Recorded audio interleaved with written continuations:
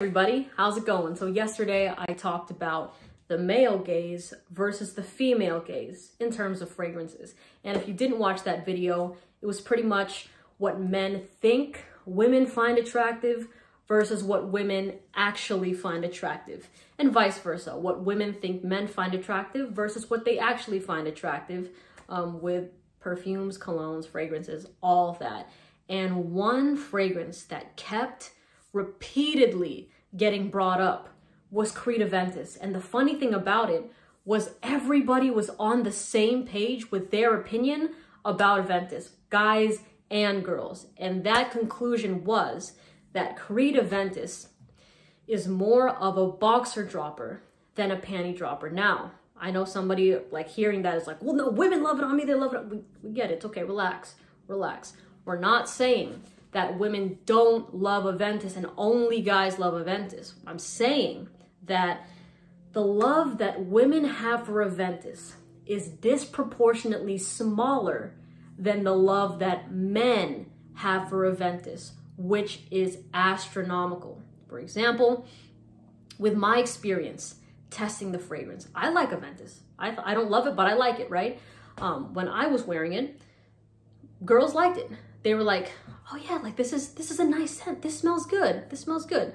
Um, but then when guys smelled it, they were they were going nuts. They were going stupid over this fragrance. It was like an aggressive type of love, you know, where they were like, "Oh, that shit smells good, Melissa. What are you wearing? That smells so fucking good." You know, they wanted to know what it was, and it was just like, you know, I got the wide eyes of like, "Oh, that is a masterpiece." You know, in their eyes, that's what I saw, and that was also what was said.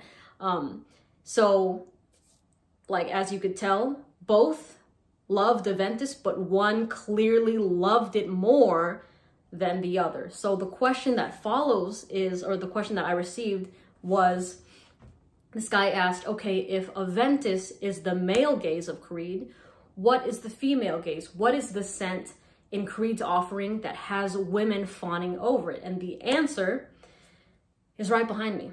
It's the only Creed bottle I have in my collection. Silver Mountain Water.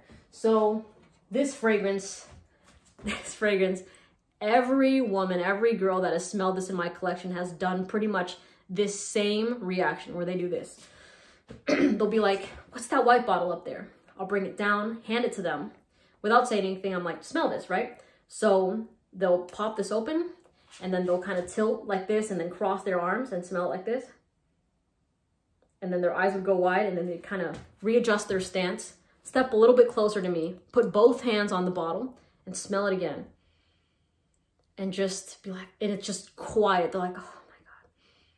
And then they'll spray it in the air, close their eyes, waft it in the air, and just melt with this scent. That is not a onesie, twosie type of reaction I've seen. That was pretty much, no, not pretty much, that was every girl that I have had smell Silver Mountain water in my collection, where it's like, it's a dreamy type of reaction where it's like, oh my God, that smells so good, you know? So whereas the men had this aggressive sort of love for Aventus, the women had this dream-like love and just like that dreamlike kind of, oh, like that, mmm, with Silver Mountain water. It was so like the differences were amazing, but I mean, still, still a lot of love, right? Whereas when guys smell this in my collection, they do this. They'd smell it.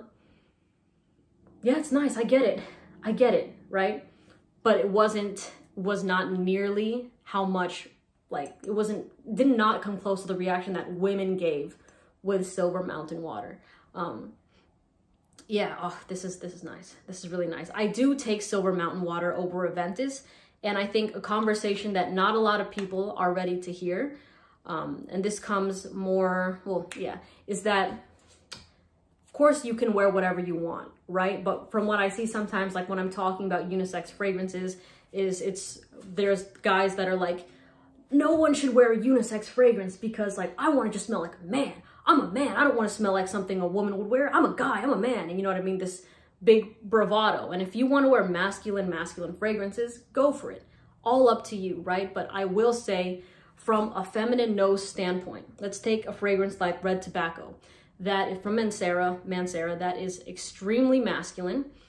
When I smelled that fragrance, I was turned off immediately. I didn't even wash it off my arm because I wanted to see how the dry down would be. I even sprayed it on the air. I sprayed it on clothes because who knows, it could have been my skin chemistry, but it wasn't just my skin chemistry. I just, that, I rebuked that fragrance, right? I don't like it. Um, and it's a scent that other girls smelled it when I was testing it. And they were like, that shit stinks. Like that was a reaction that I received. Whereas guys were like, oh yeah, that smells pretty good. That smells pretty good. So sometimes if something is too far on the spectrum, it can become like almost not gross smelling, but just like not attractive to like, you know, the other gender, like, you know, uh, the feminine nose, for example. So I just find that interesting. Um, and with, with unisex fragrances, another thing that I've seen which is another conversation not a lot of people are ready for, is that unisex fragrances pull like no other. If you see my top 10 videos for the most part, the ones in my top 10 with the highest compliment factor and all that with the best ladies reactions are unisex fragrances. And if you're asking yourself why, this is what I think, okay? Everyone can have their own opinion, but I think it's because with a unisex fragrance, when a woman smells it, even with guys too, but there's a sense of familiarity with it where it's like, okay, it's not too off-putting where it's like, okay, this one's trying too hard. You know what I mean? Like when I smell red tobacco, it's like, that smells like it's trying too hard. But when you have something like Silver Mountain Water, something like Side Effect, something like Carlisle and Tuxedo by YSL, there are these fragrances that are fam like, familiar is a word, but it it's so likable and it draws you in. You know, it's something that is, it's welcoming. That's a better way to say it, you know, where it's like, okay, like this is somebody like, it smells like something you would want to approach. Because yes, it smells sexy, but it's not too like either too much or trying too hard to be masculine to a point where it's like, yeah, I don't want to be around that. You know what I mean? Um, but yeah, there's this something about unisex fragrances from my testings so far that blow every fragrance, like in terms of like the fragrances marketed strictly to men versus unisex, the unisex ones are what pull mad game. That is what I have seen. That is what I've experienced. And it's just, that's, that's for me. Everyone is entitled to wear whatever they want. If you only want to wear masculine fragrances, totally go for it.